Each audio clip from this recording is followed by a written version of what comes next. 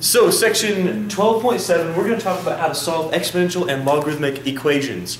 We've done all the legwork, we know all the properties of logarithms, we know really all the properties of exponentials. We're going to tie all this together. The one thing you need to know is, is what I've been talking about for the last three sections. Logarithmic and exponential functions are inverses. What that means to you. In order to solve exponentials, you need logarithms. In order to solve logarithms, you need exponentials. Are you with me on that?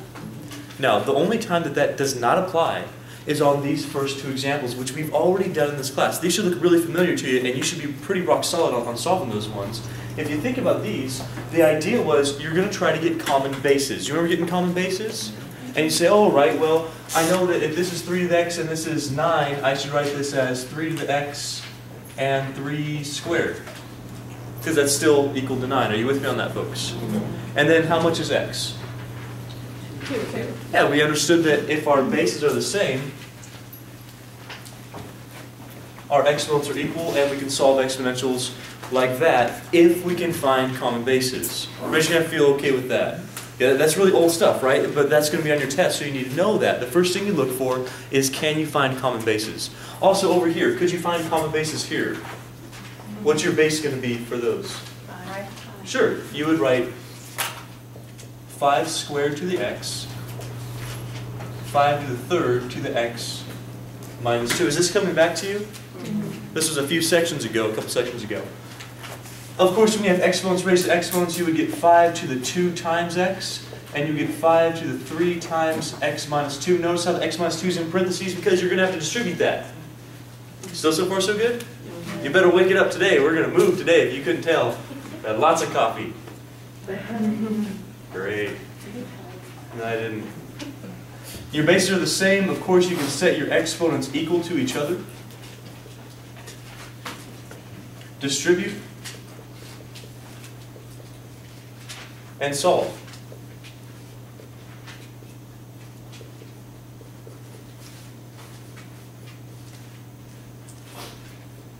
Now, of course, I went really quickly through that because we've done all of that before. Would you nod your head or raise your hand if you're okay with, with doing these two examples? Raise your hand if you are. Yeah, how about this row over here? You guys all right with that? So we're finding our common bases. We're setting our exponents equal. Sometimes they're very easy. Sometimes you have to do some work, but still it's, it's not that big of a deal as long as you can find those common bases. We know that's 5 squared, that's 5 to the third. We multiply those exponents. So 2 at 3 times x minus 2, we distribute and we solve. This should be a piece of cake from here on down, right? Subtract a smaller variable, get the x by itself. Here's the question. You're sure you're okay with this, right? Yep. You're sure you're okay with this one? Because you can find that five, okay. How about this one?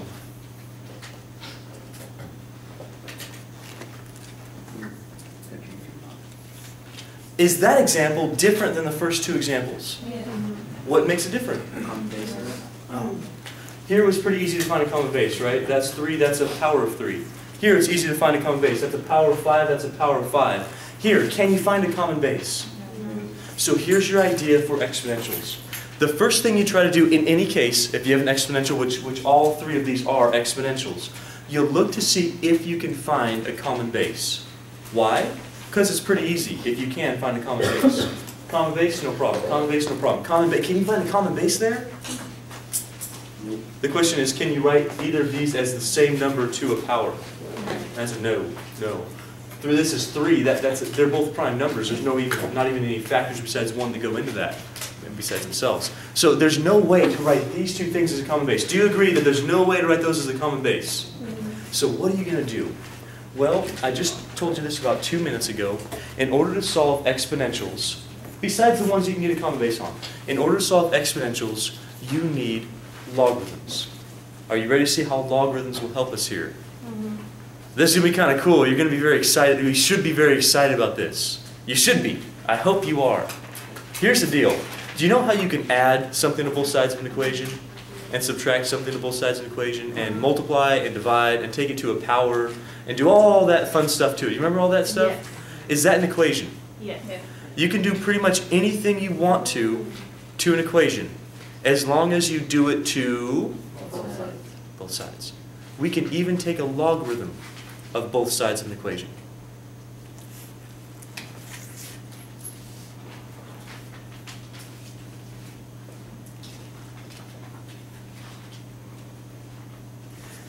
What logarithm did I choose? What base is that? 10. Good, that's a common log.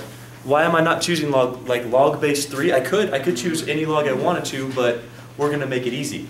It, we, we don't want to we don't want to choose any fancy logarithms. Choose either ln or log base 10. Natural log or common log. Most people choose common log.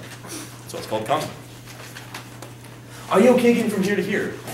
We can do whatever we want as long as we do it to both sides. What you can't forget to do is do it to this side too. Because a lot of people, they'll do it to this side because they see that x, they'll forget about this side. It is an equation. you got to do both sides at the same time, exactly the same thing.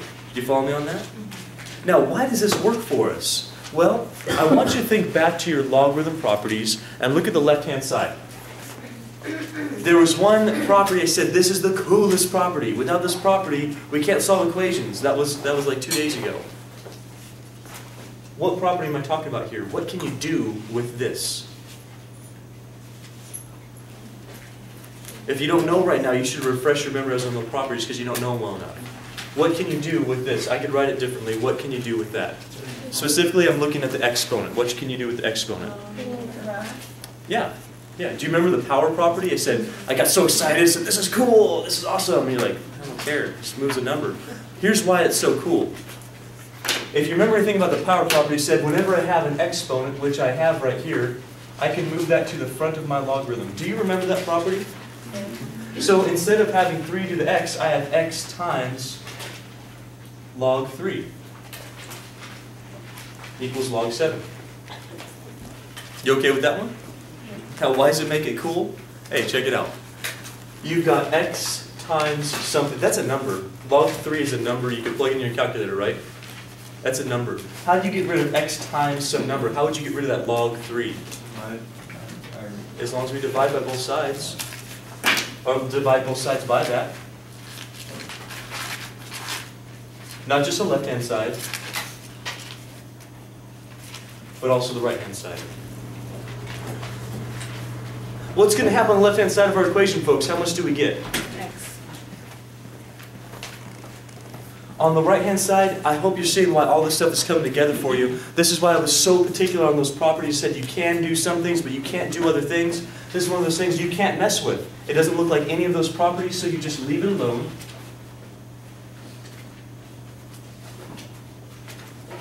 And you're done. That's it.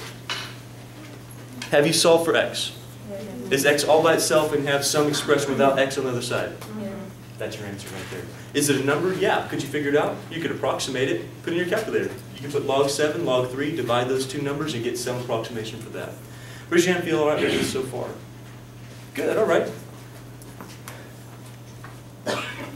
So, the first thing you do, I'll write a couple notes.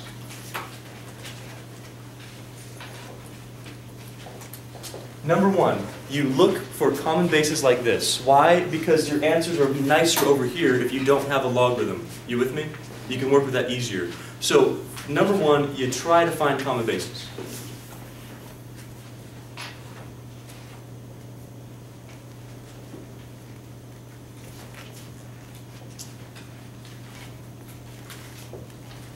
If you can't, then you take a logarithm of both sides.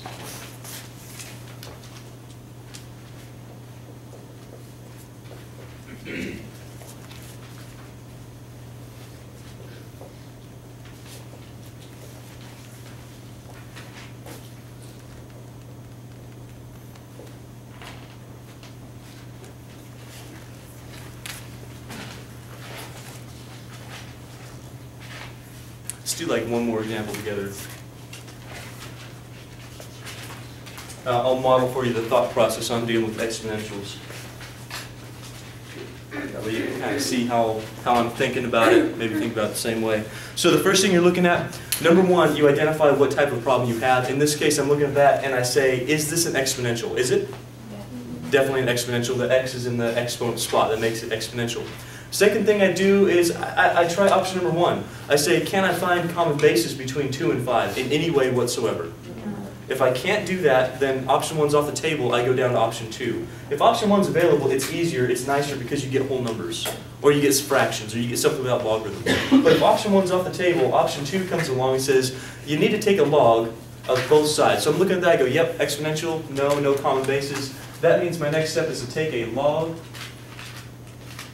not just of the left-hand side, but also of the right-hand side. After that, we only use one property. The one property we use is the power property for logarithms. It says any exponent can be moved to the front of our logarithm.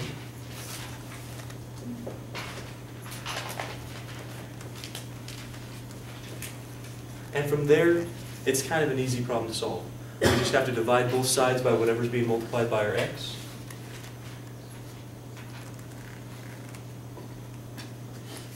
And sure, it looks a little nasty, but that's our answer. Log of 5 over log of 2. They're pretty quick, right? Is the math really, really hard? Just remembering what, remember that the, the, the last like three, four chapters haven't been super hard math. It's just, well, maybe the quadratic formula. But besides that, I mean, it, it's just remembering what you can and what you can't do, remember the properties and know how to apply them. I guess that makes it hard if you're really not good at remembering that stuff. But that, that's really all we need to do in here is really focus on what you can and can't do with logarithms and how to solve these exponentials. Once you try one on your own, I'll change the problem just slightly and then we'll move on.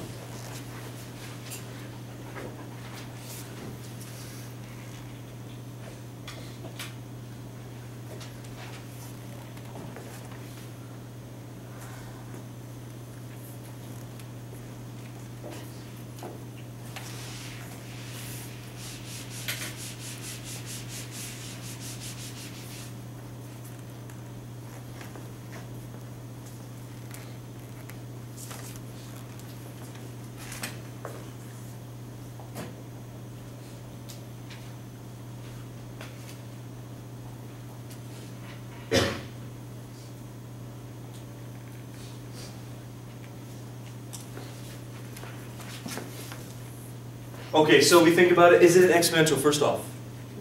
For sure. Can you find common bases? No, no. if you could, then you'd be doing it a different way. You just write them with common bases, set your exponents equal to each other, and solve that. You'd get a a nice, nice value. Uh, however, if you can't find common bases, well, we know there's another option. There is, you can take a log of both sides.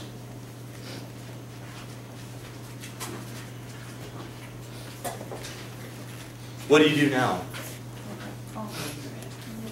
Okay, very good. We got to move that x. Otherwise, we're not going to be able to do anything with this, right? Because it's in the exponent spot. The reason why we have to take a log is because that log property says, oh, you can move the x out front. That's what moves it from an exponent to something we can work with. That's why we use those logs.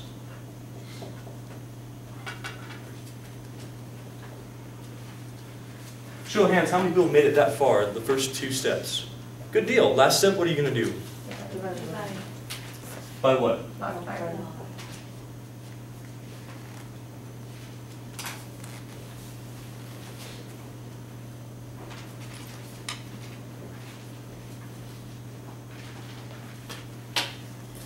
Log of 9 over log of 5. What's our base again, by the way? 10.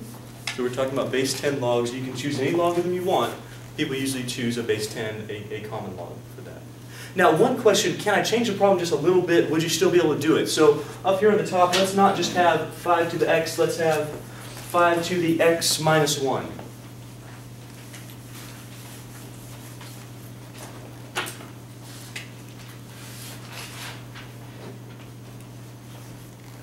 Let's go through the process again. Could you find